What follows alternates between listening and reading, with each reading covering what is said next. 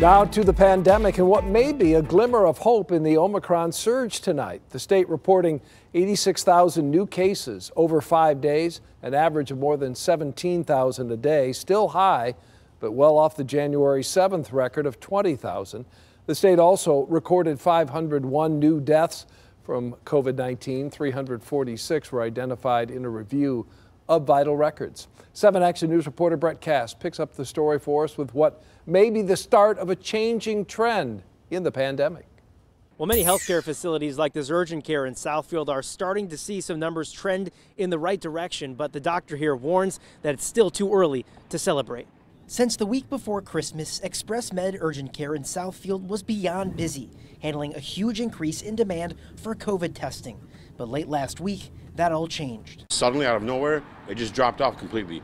Dr. Ron Coutu says for three weeks straight, they had been doing more than double their usual amount of COVID testing, with positivity rates of roughly 30%.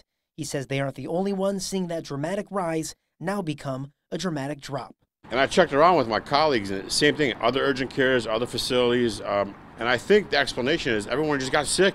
On top of testing sites, hospitals like Henry Ford are also reporting positive signs that the spread of Omicron is slowing down. I'm really happy to report that we are starting, and I emphasize starting, to see a trend that we hope will continue. COO Bob Riney says the health system now has less than 500 COVID patients as the number of new patients and case positivity rate continue going down. This is a very encouraging sign, and certainly what we hope will be the beginning of a trend. In Macomb County, officials have another measurement sewage. They've been monitoring the amount of COVID 19 in their wastewater throughout the pandemic. And since a dramatic spike on December 28th, they've also seen a dramatic drop. It looks like the numbers are falling off a cliff. It's a significant decline, which I will take as a very optimistic sign. All of these factors lead to the question of whether this peak is over.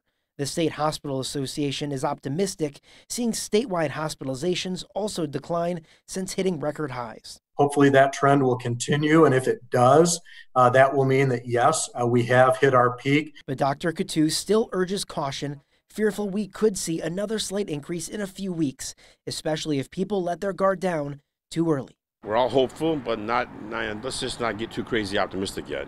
Now, ExpressMed Urgent Care also offers monoclonal antibodies, which have been hard to find. If you're interested in scheduling an appointment, you can call 248 798 1399.